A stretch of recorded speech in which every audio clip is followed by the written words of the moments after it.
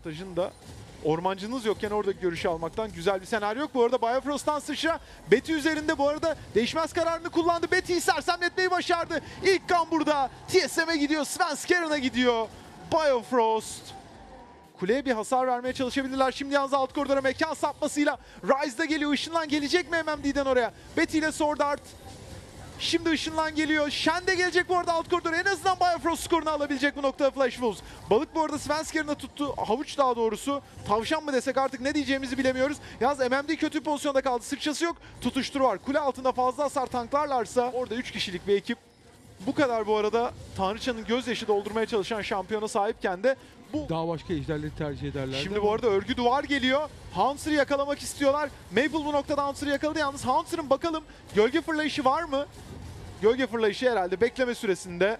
Orada skor Maple'a gitti. Me Svensker'ını görünce de bu fikirden vazgeçtiler.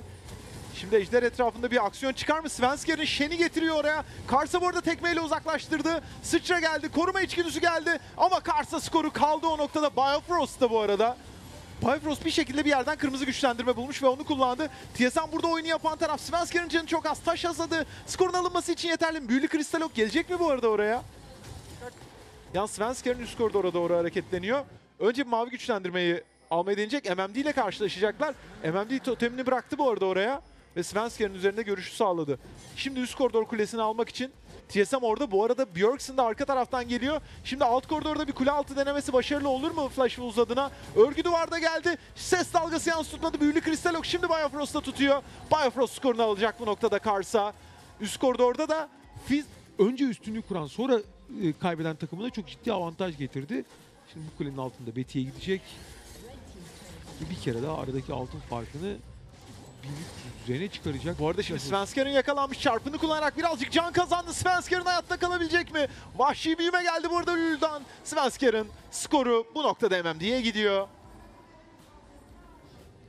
Mavi güçlendirmeyi Maple almayı başardı rakipten. Kendi mavi güçlendirmeleri de şu anda hala vadide. Şimdi büyülü kristal ok. Biofrost'a tuttu. Örgü duvarda geliyor. Şimdi Fizz'in ultisi ve Bifrost Shen oraya gelemeden düştü. Wild, Wild Turtle'ın Turtle orada durmaktan başka şansı yok. Wild Turtle Kars'a yem oluyor. Svensker'in de takım arkadaşlarına servis etti. Bir anda 3 skor birden geldi Flash Wolves adına. Az önce ultisiyle gelemeyen Haunter şimdi ışınlanıyla geldi ama geldiğine pişman olacak mı göreceğiz. Haunter'ın da başı dertte. Haunter skoru gelecek mi? Oldukça tank. Tabi orada koruma alanında onu bir nebze hayatta tutuyor. Karsa da bu arada son anda Maple'ı kurtardı. Hatta Maple işi sağlama bağlamak için sıçrasını atmak durumunda kaldı. 3 skor bir kule. Flash Wolves. Ejder'i biraz çektiğini ummuş olmasını Tam ortada ben duruyor. umuyorum. Tam ortada duruyor be abi. Bu Wild Turtle'ın üzerinde oynanan oyunlar Kaan Kural. Nin ters bir hatasını bekliyor. Yanlış bir oyununu bekliyor. 3000 cana kadar inmiş durumda ve Biofrost uzakta kaldı. Bu savaş 5'e 4. Svensker'ın da düştükten sonra 5'e 3'e geçti o savaş. Björksen arkada yalnız bakıyorum kimseyi alabilmiş mi? Hayır. Şimdi answer skoru gelecek. Karsa Björksen'la ilgileniyor. MMD'nin canı azdı ama oradan çıkmayı başardı. Betty bu arada şimdi orada e, saçar tohumlarının etrafında bekliyor. Björksen'in canı full ama ormancısı yok şu noktada TSM'in. Ve Alev Ejderi Flash Wolves tarafında kalıyor. Baskıyı burada kuracakmış. Barona başladılar. Ve Baron'a başladılar. Şimdi arkaya bir arayıcı totem atıldı. Görüş ziyneti atıldı daha doğrusu. Şimdi 5000 cana kadar inmiş durumda Baron. Ve örgü duvar Svensker'ını orada içeri girmesini engelliyor. Büyülü kristal ok. Arka arka ultiler geldi ama yeterli olmayacak. Flash Wolves bu noktada mükemmel oynadı orayı. Maple'ı yakalayabilirler mi acaba? Ee, Maple yakalayabilmek çok kolay değil ama burada işte kuleleri almak isteyeceklerdi. Ee, birinci kuleleri aldılar, ikinci kulelerin hepsine yönelecekler derken ilk ortadakini aldılar zaten. Şimdi Fizz'i bu noktada üst koridora yollayıp o üçlü kuvvetiyle de beraber hızlıca kuleleri Flash Wolves takım halinde üst tarafa gidiyordu. Ve üst taraftaki inhibitör, şey, üst taraftaki ikinci kule, ikinci kuleyi de aldılar. Alınmayan ikinci kule kalmadı. Şimdi bu arada İşte eee, kuşatma için harika bir örgü duvar daha. Bu arada Turtle üzerinde balık var ama o balığı takip etmeyecek MMD. Mekan sapmasıyla Hanser geldi içeri ama içeri geldiğine pişman olmuş olabilir. Svensker'ın üzerinde orada tutan bir büyülü kristal ok. Svensker'ın da düşüyor. Björksen bu arada arka tarafta Sword Art'la mücadelede. Björksen'i bu arada kimse umursamıyor. MMD arka tarafa girecek mi oyunbaz düzenbazda hiç gerek yok. Flash Wolves hiç kontrolü kaybetmiyor. Üst koridorda inhibitör kulesini aldılar. İnhibitörü de alacaklar ve oradan çıkacaklar. Baron'dan da bundan daha iyi bir sonuç almayı bekleyemezdi herhalde Flash Wolves. Verse çabuk olur, çabuk Yok. verse iyi olur diyecektim ama hiç ver, verebilecek durumda değiller. Ezreal ultisini kullandı.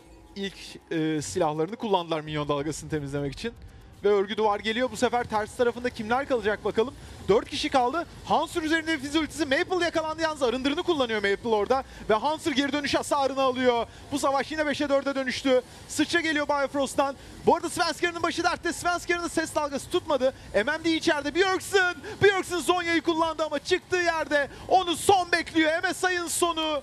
Björksen'ın artık orada düşen Rise bedeniyle beraber eee, belirlenmiş oluyor. Flash Wolves kötü başladığı turnuvaya, kötü geçirdiği turnuvada en azından yarı finale çıkmış olacak ama yarı finalde onları tanıdık bir yüz bekliyor Kaan Kural.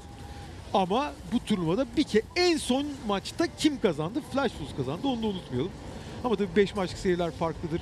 Flash Wolves açısından felaket başlayan, 2 mağlubiyet hatta 2,5 mağlubiyetle başlayan e, hatırlayacaksın 2-0 0-2 iken e, Gigabyte Mayonnaise tamamen maçı fırlattığı için kazanmışlardı. Bir şekilde geri dönmeyi, arada SKT'yi yenmeyi de başardılar. E, TSM için ise tek kelimeyle kabus gibi bir turnuva oldu. 4 maç kazandılar kazanmalarını ama e,